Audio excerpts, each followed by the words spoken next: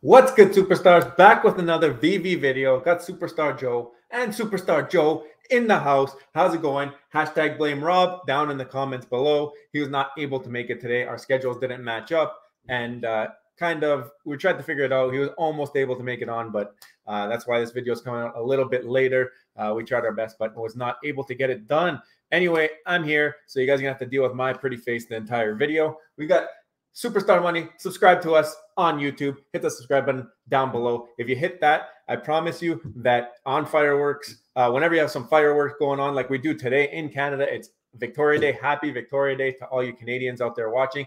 When you blow up the fireworks, you're going to see some stars in the sky and you're going to become very very happy just instant happiness will fall on you from the fireworks trust me it's a it's a gem it's working for me today uh, even though rob isn't here i'm still very very happy see but let us continue. Follow us on Twitter, follow us on Instagram, follow us on TikTok. Send us your videos, send us your pictures. We will retweet them, put them on put them on Instagram, put them on TikTok, and uh, give you all the types of credit that you deserve.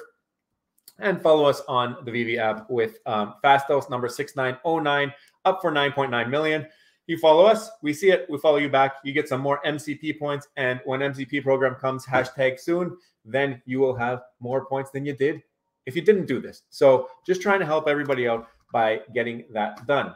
When I have to talk the entire time, it is a little bit harder on my voice. So bear with me in this video, but I have some juicy things to talk about. So um, first off, my setup is completely different. My I got a new desk and it's like way higher up right now. And I'm sitting like higher. My feet don't touch the ground. It's weird. There's all papers there. Don't look at that. All my private information is over there. So I don't need anybody hacking me. But um, right now, basically trying out the new setup. I like the angle a little bit better. I'm not looking so much to the right. Uh, maybe one day we'll show you guys the setup. But as I mentioned, um, we got Victoria Day in Canada, and VeVe's recognizing that. So shout out VeVe for recognizing the fellow Canadians. Um, we got the fireworks, wrong shaped fireworks. Should be some stars going on there, but I'll forgive them. They didn't obviously subscribe yet, um, but when they do subscribe, they'll get a little bit star shaped fireworks. If you've never seen them, you got to subscribe. That's the only way that you will see them. Um, the next thing I wanted to point out is we got this comic dropping tomorrow, and uh, Todd Knock, I think I don't know if that's how you say it. He uh, he put a post out. Shout out superstar Laura for uh, letting us know that he mentions that the colorist is a superstar. So shout out superstar Rochelle Cherry for following our channel because that's clearly what he means when he says superstar. And um, anyways, I replied to this and I said, um, "You are both superstars for sure. Great choice by VeVe." And of course, um, he liked it. The artist liked liked it there, so you can see Todd Knock right there liking it. So he knows what, what I'm talking about. Exactly what I'm talking about. He's a superstar. Proves it. Also, if you see in the bottom right here in the messages, we got Bones Boneville or Bon Bonneville. Bones Bonneville with the Batman logo in the front. He put us on to a huge tip. So I'm going to make myself big here for a little bit. Um, I want to show you guys something. You guys have this? If you guys have this duck, just do one of these guys. All right. Let's see if I can do it while looking at the screen. Do one of these guys. All right. And zoom in. Zoom in, zoom in. And what do you see, guys? What do you see inside the head? Look at that. There's like a chip or something. Let me let me see if I can get a better view of it. Oh yeah, that's a good view. Hold on. Look at that. His head is too big. There you go. I'll hold it. You see that? There's a chip inside the duck's head. So why do we got that chip inside the head? Shout out to Bones Bonneville for pointing that out. It's really weird that that's in the head. There's no reason for it to exist. Um, but a perfectly square chip inside the duck's head, is that something to do with gamification? How would that even help gamification? I don't know. Rob thinks maybe it is, but I still don't understand it. I think maybe it's just like some some weird way that they decided they want to do um, the design or whatever. They always use that as an excuse when it comes to these weird renderings that uh, people find. But let us know what you think. If you know better, if you're a 3D modeler, what is that? Why is there a chip inside the duck's head? I want to know if it is important or not. Um, anyway, I'm going to go back through VeVe's uh, tweets here quickly.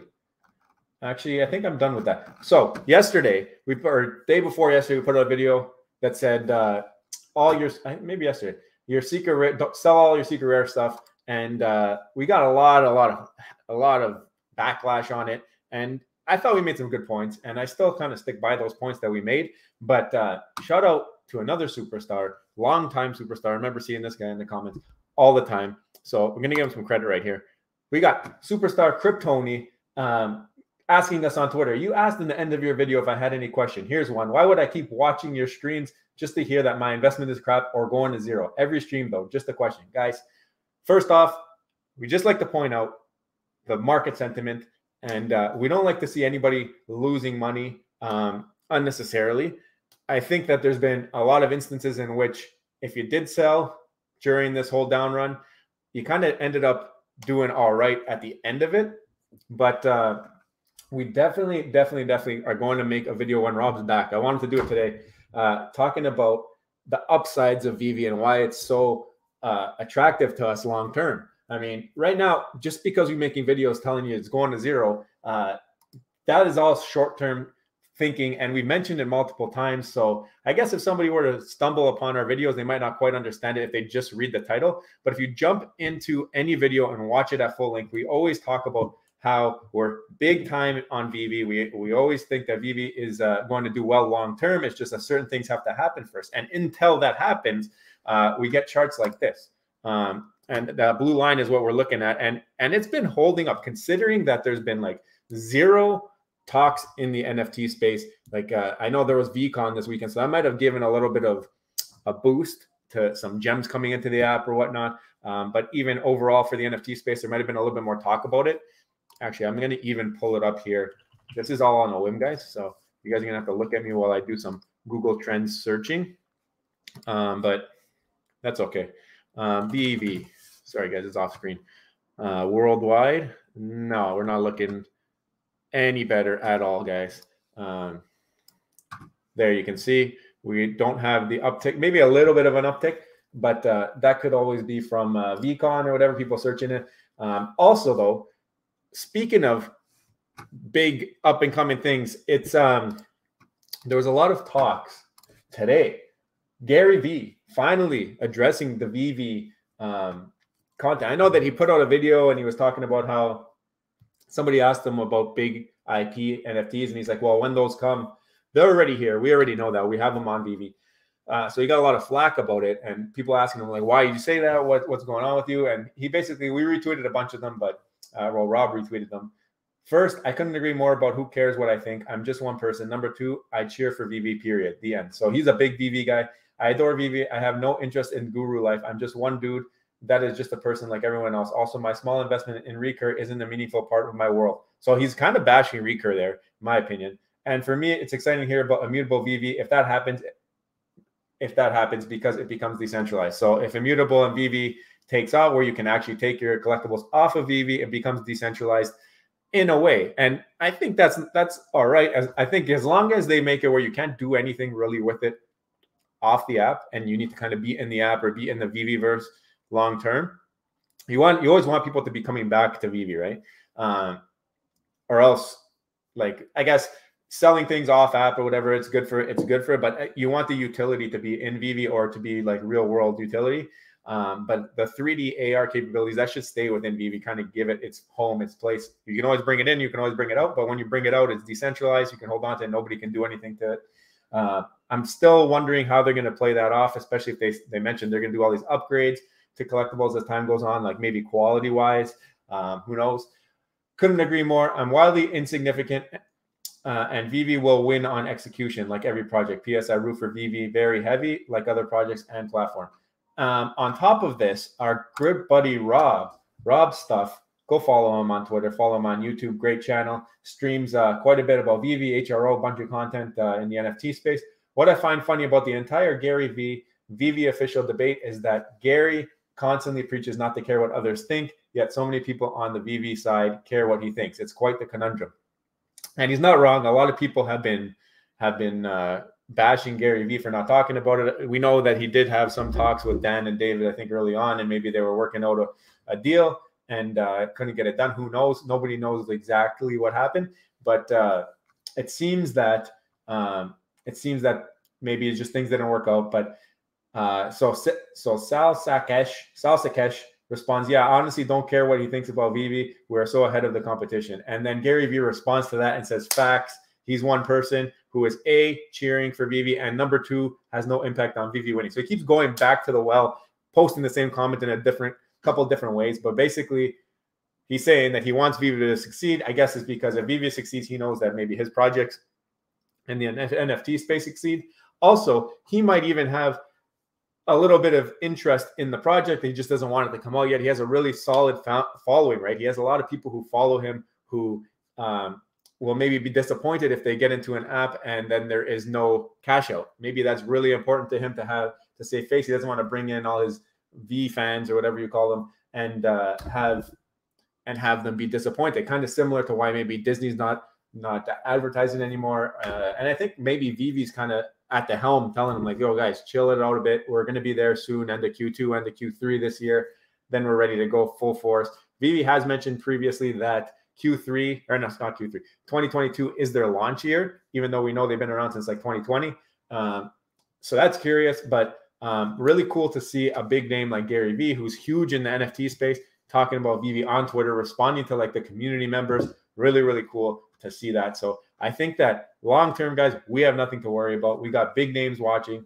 Um, I'm sure that there's celebrities watching. I'm sure that there's people watching all day, every day. Who knows who's watching this video right now? So leave a comment down below. They might scroll down through the comments and see your comment. You might be talking to Gary Vee in the comments down there. So make sure you leave a comment down below. Let us know what you think. Is Gary Vee waiting to advertise? Um, I don't know. Maybe he'll see this and uh, he'll go and reply to our tweet. We tweeted at him today too, as well. So uh, if that happens, that'd be pretty cool. But if not, it's okay. I think long term, VeVe's going to be just fine. And uh, we need to make sure to mention that today to address the critics. Um, we are pro VeVe. We post a video every single day on VeVe, guys. Who does that if they're not pro VeVe? All right. Um, just because I sold off some stuff to get some gems doesn't mean that I'm against VeVe. I think that long term, even having the gems is not a bad thing. I talked about that in that video as well. If I have gems, say Amazing Fantasy 15 comes out, I got a ton of gems. I can pump into that, right? That's going to be a grill if that ever comes. Uh, we're expecting that it will. If Darth Vader comes, I have a ton of gems to pump into that. Why do I need a partner statue? Why do I need a Secret Rare Spider Man? I can't buy both. I can't have everything. So I'm not worried about having gems right now. I just know that I have opportunity right now when you're sitting in some gems, and that's the reason why I I think that I personally have not bought back in yet, but I will buy back in. So remember that that line for everybody watching. I will buy back in at some point. What I'll buy, I have no idea yet. If I see some low, low mint, if I see a really good steal, I'm going to buy it. I got the opportunity in my bag right now, right? Um, and I'm hoping, I'm hoping things drop a little bit more so I can scoop up a little bit more things. But at the same time, if it doesn't, there's opportunities that are going to come in the future. I'm not worried about it. And the fact that I'm not worried about opportunity coming in the future shows you that I'm so bullish on VeVe because I think that there's going to be other things to come that will pump just as crazy as some of these things, if not more, especially when we get things with more utility or better graphics. And yesterday I talked about that too. I just want to clear that up as well. I was just making a point when I talked about the Call of Duty games and saying like people don't want the first Call of Duty game, they want like the last Call of Duty game, better graphics. Obviously, there's other games out there like Super Mario and uh, Super Smash Bros. Like the original in the box, those goes for a ton of money. I know that. Uh, I'm not blind to that. I'm just saying other franchises, other types of games nobody really wants to play like a PS2 game um, in terms of utility. Like nobody wants to use the game as much as they want to. Like just like anything else, nobody I think really wants to play an old Call of Duty over a new Call of Duty.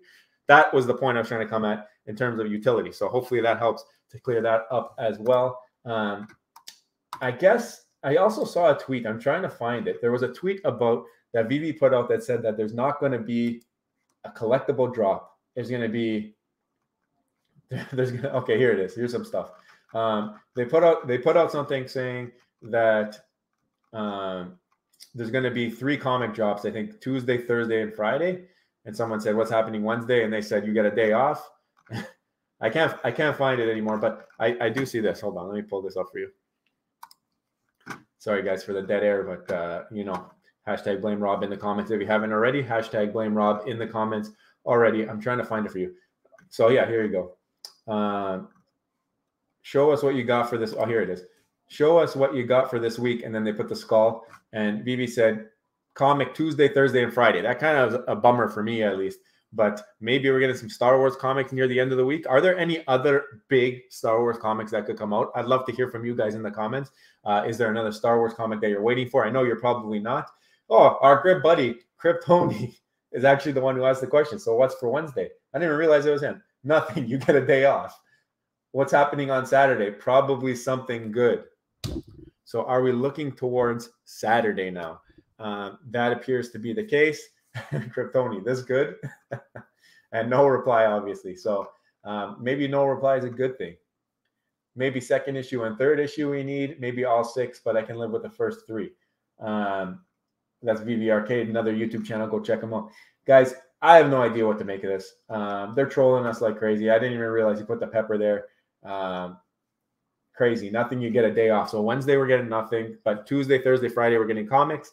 We only know the Tuesday comic is that Baby Shark comic, uh, as uh, we like to call it out here. So that's all I got for you guys. Um, hopefully wasn't too too boring without Rob here. Uh, tried my best. We were trying to get it to work, but it didn't obviously uh, with both our schedules. So, anyways, if you haven't already, become a superstar. Hit the subscribe button down below. Let us know what you think in the comments. We love to reply to you. We're going to give you a shout out if you give us uh, what you think. Um, we like to have that banter back and forth as long as you're not just trashing on us uh, and you actually make a valid point, like Kryptoni, solid point. Uh, like I said, we're going to make a video just talking about how we believe VeVe will do so well into the future. Um, it's definitely coming. I just want Rob there for it because uh, he has a lot of thoughts as well. So today I give you a little bit of a taste of why we still are very bullish on VeVe and what I'm doing with my gems. Because you guys know I'm sitting in gems, but I'm not worried. Let things pump. Let them go up. It means it's good for VeVe long term. And next good thing's going to come out, and there's going to be more and more grails. I'm not worried about it at all. Never to,